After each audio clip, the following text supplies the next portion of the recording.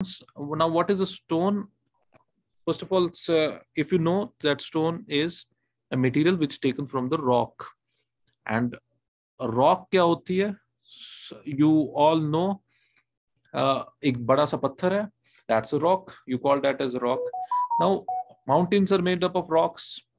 You would have stones uh, within the earth. If you dig uh, deep deep deep then you'll एक जगह आ जाएगी wild digging that you will get the rocks so about this layer of soil मिट्टी you will somewhere find the rocks within within the soil even if you go into the deserts वहाँ पर रेत निकालते जाओगे ultimately you will get a rock somewhere आप समंदर में जाओगे, दरिया खोदोगे देन लेक्स को खोदोगे you will ultimately get a bed rock at the bottom so this earth is made up of rocks and you all know that rocks are uh, based on the origin. Uh, so either they are igneous or metamorphic rocks. So we and and also know that the rocks are uh, see, uh, of sedimentary origin as well. Now sedimentary origin you all know that they are laid one above the other the calcareous ones the jo जिसमें ज़्यादातर lime stone वगैरह के types of rocks आते हैं. Then you have rocks which are igneous in nature and you know the basalt and the others granites which are igneous rocks and then igneous rocks are from the lava formation of the volcanic उसके बाद metamorphic rocks आती है. तो metamorphic rocks you have once igneous as well as sedimentary rocks उनके ऊपर एक और layer वो आपस में जब लेयर बाय लेयर जुड़ जाती है so there is a development of a pressure high pressure underneath तो वहां से due to high pressure and due to high heat there is further uh, processes so uh, you get the metamorphic rocks and the metamorphic rocks like schist marble uh, these are the metamorphic rocks that are uh, available to us now ये rocks जिनसे stones बनती हैं। अब हम stones को क्यों good for construction कब good for construction मान मान सकते हैं? कब ये सही हो सकती है for construction purposes for that first of all we have to discuss that when are stones good for construction?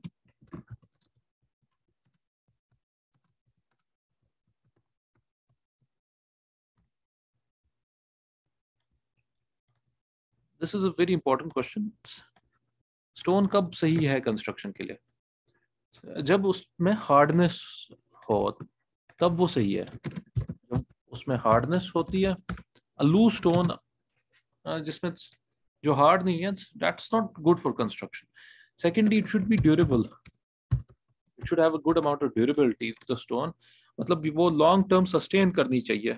ऐसी स्टोन जो कि कुछ साल में खराब हो जाए, उस that stone is not good for construction it should not decompose the stone should not उसमें डिकम्पोजिशन नहीं होनी चाहिए उसमें पोरोसिटी जो है it should be less and its absorption should be less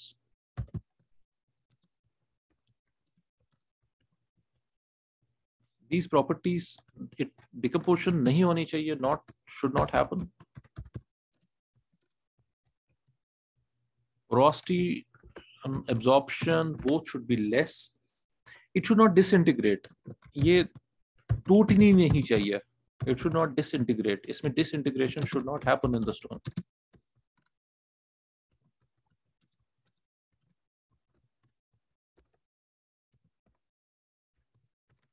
sixth thing uh, related to its reliability uh, in uh, with respect to the fire resistance it should be reliable to the fire resistance. Most of the stones are reliable in terms of fire resistance. Uh, further its weight should be less. Now you cannot get all stones with less weight. That, that's a problem. Uh, and that's a problem jo ki abhi ye kalbi ali keh raha tha for earthquake resistance. One thing related to earthquake resistance is uh, uh, stones ka weight bahut zyada hota hai and uh, the earthquake have a problem uh, with related to the uh, uh, weight so there is more acceleration there but then uh, जो कि ये पूछ रहा था I have just one answer to that जो related to Taj Mahal he was asking that probably this is what he meant कि इसका wait stones का ज़्यादा है तो अर्थ की रेजिस्टेंस वो कैसे इंश्योर करते हैं ऐसे स्ट्रक्चर में? The answer is you construct thick thick thick walls मोटे मोटे वॉल्स कंस्ट्रक्ट किए जाते हैं ऑफ़ द स्टोन्स तो जब मोटे वॉल्स कंस्ट्रक्ट किए जाते हैं, उसका अपना वज़न इतना होता है वर्टिकल वज़न उतना होता है कि वो आप कितना भी उसको ऐसे हिलाओ लैटरली वो हिलेंगे नहीं. तो वो अपने वज़न से ही एक दूसरे के ऊपर जमे रहते हैं। So weight has to be less in the stone अगर नहीं है then you have to construct thick thick walls of stone it strength should be more वो तो होना ही चाहिए। और ऑलमोस्ट सब पत्थर उनकी स्ट्रेंथ अच्छी खासी होती है as compare to concrete as concrete as compare to hollow concrete blocks as compare to bricks they have much more strength as compare to that I told you that last time so appearance should be good now aesthetically they should look pleasing to the eyes तो ऐसे पत्थर जो बिल्कुल उनमें काले, धब्बे इधर उधर नज़र आ रहे हैं so they don't look pleasing to eyes you want stones which are giving texture they are giving uh, so we usually prefer light colored uh, appearances in the stones and further the physical characteristics जो इसकी physical strength है real strength है that should be तो अगर उसकी toughness हम check करें एक hammer से मारे that uh, that should be good enough uh, finally the stones को हमें सीजनिंग अच्छी खासी की जानी चाहिए। सो so, रखकर फिर उसको सुखाया जाता है स्टोन्स को। वाइज डेट डन जो इसमें केमिकल से वो लीच आउट वो बाहर निकल जाए पानी से। फिर जब सुखाया जाए तो उसमें कोई कैपेसिटी ना हो और वाटर एब्जॉर्प्शन की। तो तीन चार महीने से लेकर छह महीने तक उसकी अच्छी खासी सीजनिंग की जा सकती है स्टोन्स की। उनको पत्थरों को हम धूप में रख सकते हैं। तो what happens during that process is that stones uh, get fit for construction उसमें जो केमिकल्स है वो निकल जाएँगे जो उसमें डर्ट है वो निकल जाएगी. देन uh, उसमें जो उस वो उसमें जो वाइट्स अंदर है दे फिर जब uh, सूख जाती है तो वहाँ से it leads out all the harmful things तो जब हम उस को फिर स्टोन को मैसनरी के लिए इस्तेमाल करते हैं फिर सीमेंट उसमें डाल देते हैं so that cement fills up those voids rather than जो उसमें मिट्टी होगी और बाकी चीजें वो नि, निकल गई होगी तो seasoning is a good thing and that should be done even for stones and now what is that we construct from stones that is stone masonry first of all let me show you the figure here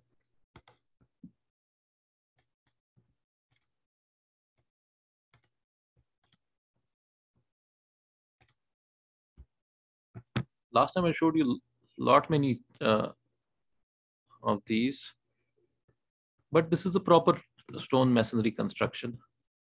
I wanted to show you this picture. It, this has got band at the bottom. Then stones are kept in three or four layers up till here. फिर एक और band डाला गया है यहाँ पर Windows के नीचे फिर विंडोज़ के ऊपर एक और बैंड बीम डाली गई है। So this is a proper construction of stone masonry walls and there could be even better construction if you are using steel bars at the ends like this even in stone masonry you could be using steel bars at the ends तो वहाँ पर एक joint बनाया जाता है, उसके बीच में steel का बार डाला जाता है and that steel bar would उसमें फिर कंक्रीट पोर किया जाता है लाइक अ कॉलम तो ये बैंड्स में तो लोहा होगा ही यहाँ पर यहाँ पर लोहा है स्टील है. So this is a proper stone masonry wall construction this is how the stone masonry wall construction should actually be done तो हम जब स्टोन मैसनरी वॉल कंस्ट्रक्शन की बात करते हैं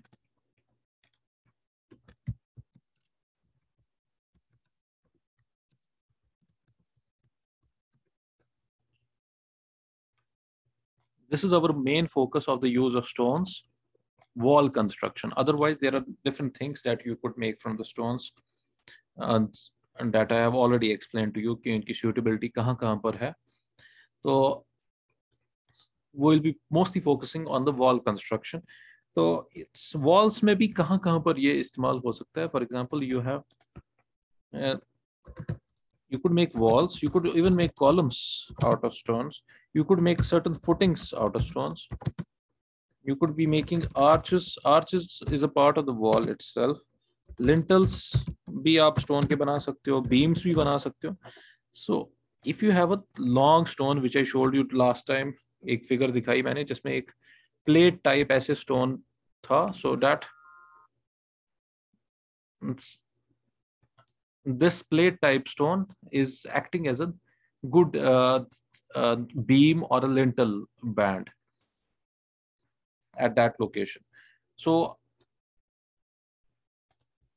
stone masonry wall construction could be even uh, meant for cladding purposes. भी आप stones use कर सकते हो cladding is बाहर वाले tile work आप stone में कर सकते हो you construct old houses in in stone अगर आपको आज के डेट में पुराना कोई मकान फिर से रिनेक्ट करना है, फिर से बनाना है अगर कोई मोनूमेंटल बिल्डिंग जल जाती है तो उसको री एनेक्ट करने के लिए फिर से स्टोन्स को इस्तेमाल किया जाता है लाइक मोनूमेंटल स्ट्रक्चर्स में स्टोन्स तो इस्तेमाल हो ही रहे थे। So I discussed all the properties of the stones they should have for wall uh, construction purposes. Walls में कहाँ कहाँ पर इस्तेमाल हो रहे हैं और कैसे इस्तेमाल हो रहे हैं First of all, what are the different types of stone walls? One, you have the rubble. These are the stone walls that you have.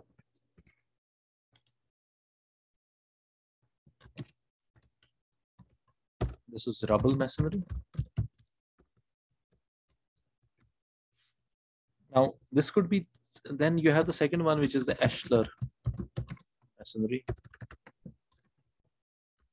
Stone masonry. Both are stone masonries, rubble and Ashlar stone masonries. I'll just be showing you the figures right now.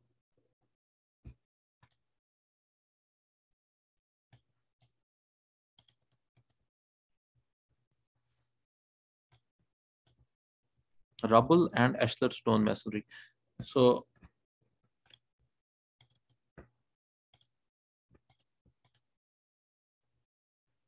now this is uh, the rubble stone masonry in which you have different types, further different types, like you have this one is uncoursed or random one. This is random rubble masonry. This is the first type of uh, this uh, rubble stone masonry.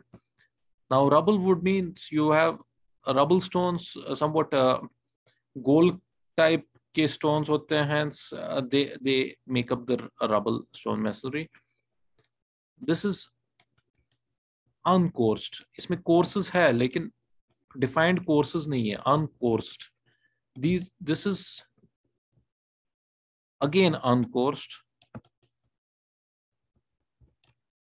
Proper courses नहीं है I don't have the figure right now for the course one course one कैसे होगा वो it would have proper courses like this एक layer फिर दूसरी layer so that would be a coursed stone masonry